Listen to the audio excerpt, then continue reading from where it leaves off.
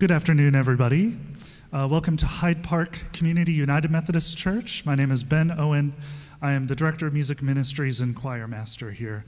And on behalf of everyone uh, at Hyde Park, we welcome you this afternoon to hear Carolyn Craig play. Uh, t- please take a moment to silence your cell phones as this will be recorded for WGUC. Uh, speaking of, we thank WGUC for uh, broadcasting this uh, this program later in the season. We thank the Clovernook Center uh, for our Braille programs today, so to make sure that this music is accessible to all. We thank Michael Hughes, our recording engineer, and uh, John Scheel, who is live streaming, our live streaming technician upstairs for us. After the concert, there will be baskets for free will offering, as well as comment cards uh, that uh, we would love for you to fill out if you'd like to be on our mailing list or if you have any questions or requests uh, to give to us. Without further ado, please uh, welcome Carolyn Craig, the uh, organ scholar at Westminster Cathedral, London.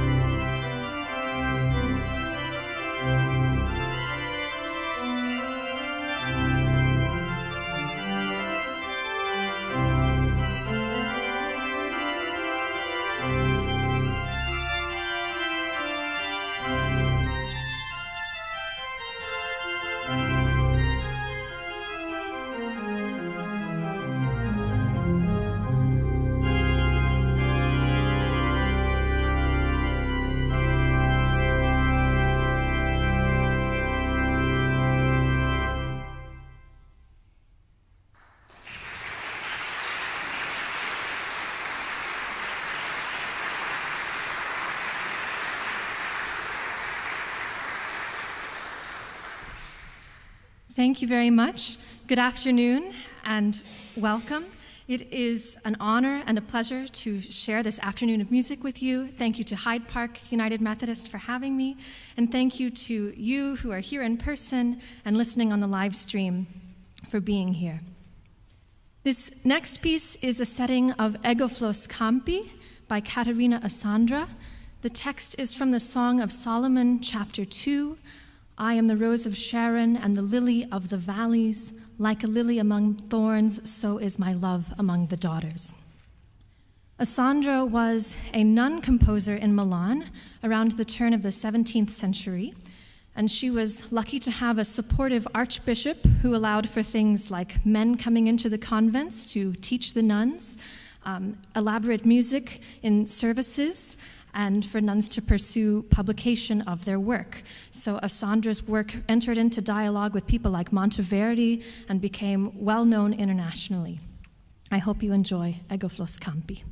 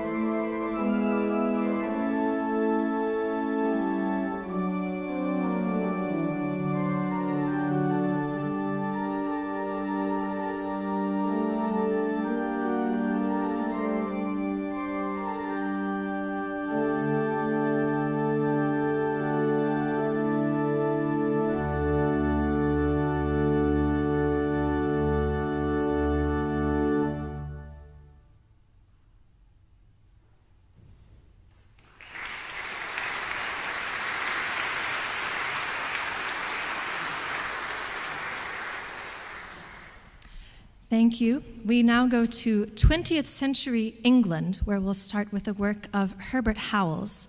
In Master Tallis' Testament, Howells pays homage to the Tudor composer Thomas Tallis, but he doesn't borrow any specific material. We can hear the Tudorisms that Howells puts into this work in, in three ways in the ornaments that Howells uses, such as yadadadadam and yam badadam, in the cadences at the ends of the phrases, which sound very much like continuo and finally, in the imitation between the voices. So you'll often hear the pedal start something and then the hands with the same material, or vice versa.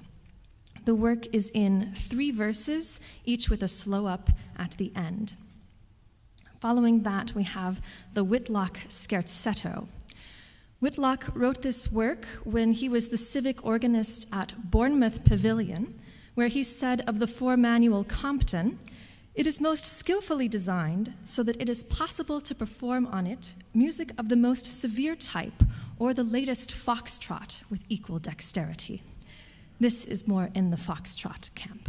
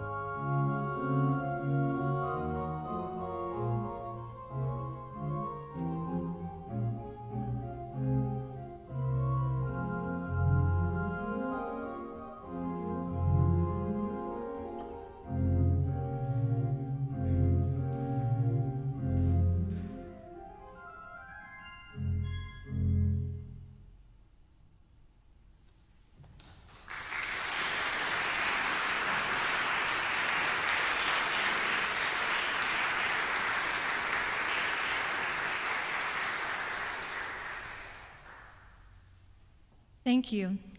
This next piece came about as a collaboration at Yale University, and the composer, Uri Perlman, I think of very much as my friend, but he's also a fantastic and uh, recognized composer, and just on Friday was announced as the winner of the Pogorzelski Yankee competition for organ composition. So the American Guild of Organists' next commission in 2024 will be by him. We worked together to uh, write a seven minute scherzo for my master's recital. That was all that I had um, specified, and he came back with this work called Big Fish Eat Little Fish. I thought, what have I done? but I absolutely love it. Um, he uses the major seventh to represent a fish. So if your ear is drawn to how all of these major sevenths are, um, in relationship with one another. That's absolutely there for you to hear. If your ear is drawn to a fish jumping out of a wave or something lurking around the corner, that's there for you as well. I hope you enjoy Big Fish Eat Little Fish.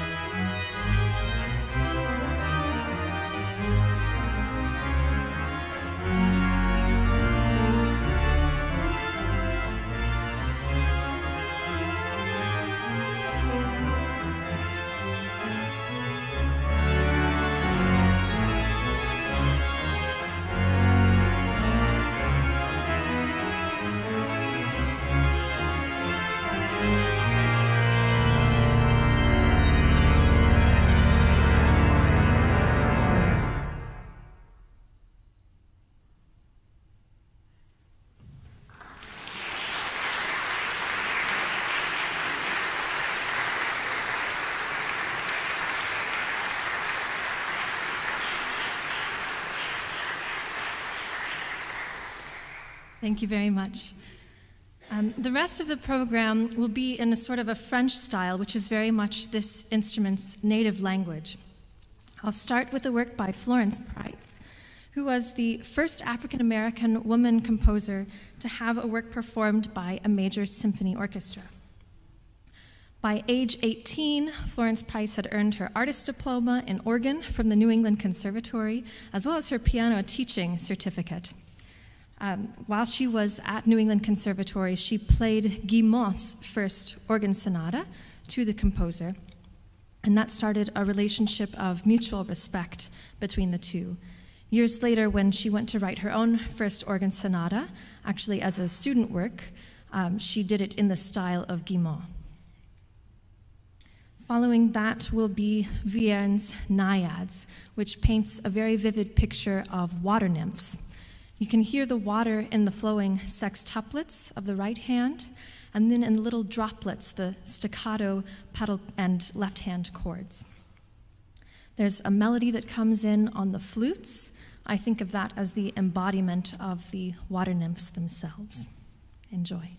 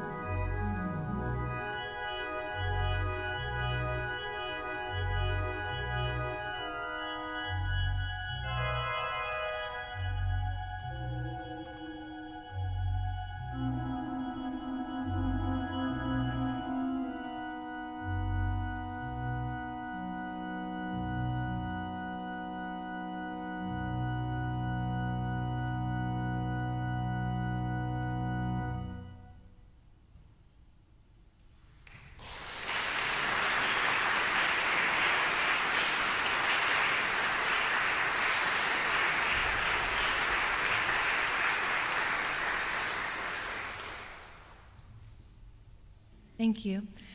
Um, the next piece is by a Belgian composer, Juliette Folville. If you're familiar with Joseph Jongen, they shared a teacher who was the dedicatee of this piece. The piece is based on the Tantum Ergo Sacramentum, which you may know under a different name. The tune is Tantum Ergo Sacramentum. And just those first few notes, are the seed from which the rest of the piece grows. Sometimes it's subtle, but if you listen, it's there. Um, and she uses that classic Belgian stop, the voix humaine. So listen for that. Following that will be the Sicilienne and the Toccata from Maurice Duruflé's wonderful suite for organ. Duruflé was always influenced by plain song, and we hear that in both of these works. The Sicilienne is based on a Baroque dance form and explores the colors of this wonderful organ beautifully. And the toccata is uh, maybe better suited for Halloween. So I hope you enjoy. Uh, thank you again to Hyde Park United Methodist for having me and to you all for being here. It's been an absolute pleasure. Thank you.